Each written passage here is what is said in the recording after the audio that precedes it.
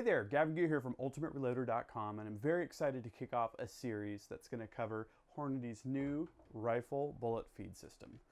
We're going to talk about the 22 caliber version and the 30 caliber version, and I realized when I went to go start this series that I needed a bunch of brass. So what I'm going to go through in this video is some interesting, different kind of out thinking outside the box techniques for brass preparation.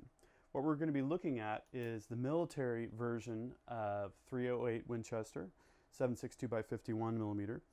And um, this is what we want. We want to have um, a whole bunch of brass that we can throw into the case feeder and go ahead and load for AR-10 platform. That's what I'm going to shoot at least. Uh, what we're going to do is we're going to start with uh, once fired brass that I got a really good deal on some bulk um, uh, brass for my friend for and we're going to run it through uh, the Hornady lock and load AP basically to decap and prime, deprime, and then uh, we're going to go and we're going to use machine shop equipment. We're going to use a milling machine for trimming and we're going to use a metal lathe for the rest uh, of the brass prep. So hang on and I'm going to show you one step at a time uh, some different techniques for doing brass prep. So prior to sizing and depriming, what we're going to do is we're going to roll out some of this military brass. I'm going to use uh, Dillon DCL, the Dillon case lubricant. Uh, normally I use imperial case sizing wax when I'm sizing rifle brass, but in this particular case I'm going to spray some of this on because it's a lot faster and we're going to go through a whole bunch of brass and it's a little bit tedious to to uh, go through and wax up each case individually. We're going to be a bit generous because I'm going to be tumbling this off after the initial brass prep before loading. Okay, so we got a bunch of that on there. I'm to dump that into the uh, case feeder and we're going to do some sizing and depriming. All right, so our case feeder is full, drop tube is full. One thing I like to do when I start up a session of depriming and sizings, the sizing specifically, is make sure that there's plenty of lube on the first case so that you get a good coating on the inside uh, of the uh, sizing die. Now, little trick, synthetic motor oil actually works really good as a case lubricant.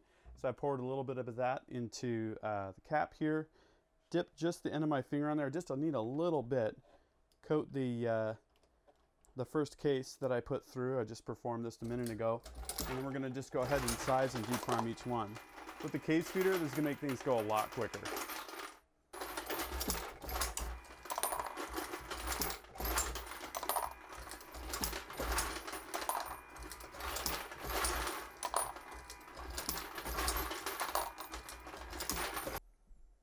All right, so this is my milling machine, which I'm gonna use to do some case trimming here.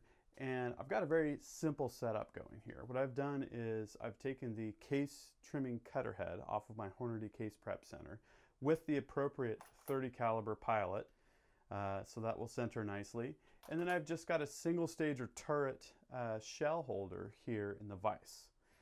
And with some careful centering, what I'm able to do is just insert a case and then uh, run it down against the depth stop to trim to exactly uh, the right case length.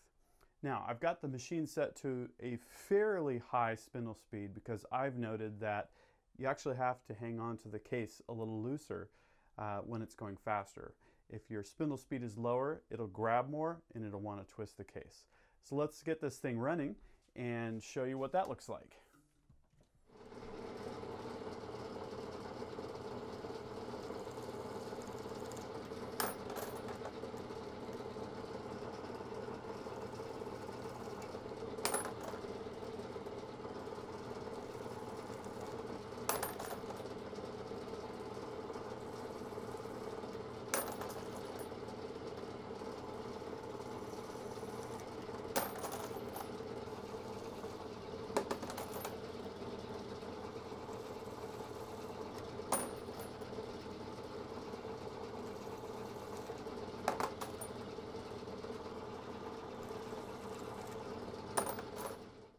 All right, so we're done trimming some of the cases. We've now moved over to the metal. This is a nice uh, 1955 Logan uh, 11 by 36. And what I'm gonna do is I'm gonna be using this lathe, which is equipped with a collet system.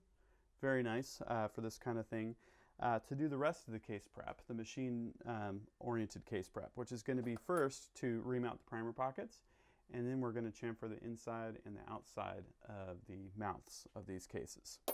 So I'm going to start this up and basically all I need to do is make sure I've got my cutter installed in the collet and then I'm just going to hold it and then do a nice ream on these primer pockets.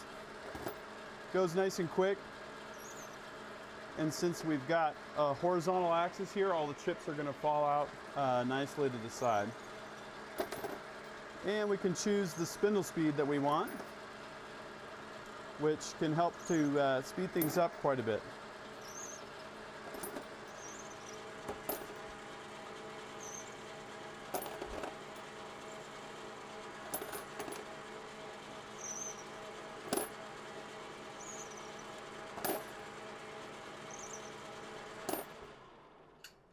All right, so we're uh, done with the primer pocket reaming. And what we can do is just really quickly change out this collet. And what would be really nice would be if I had inserts that were threaded so that these could screw right in. And I could use the same collet basically for all of them. Okay, so now what we can do is fire up the lathe again, and we're going to chamfer the inside of the case mouths. Do a slight spin so that we get a uniform inside chamfer.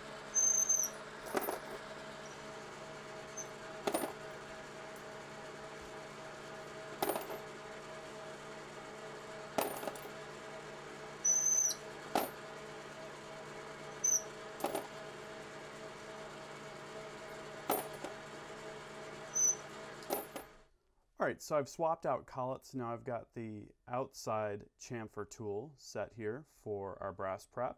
And this is going to be the last phase before we tumble off the lube. So again, just like inside, I'm going to rotate these slightly. Make sure I get a uniform chamfer.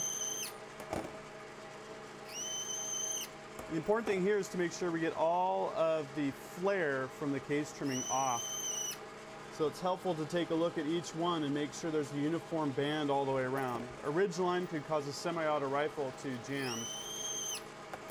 Won't eject. Not what you want.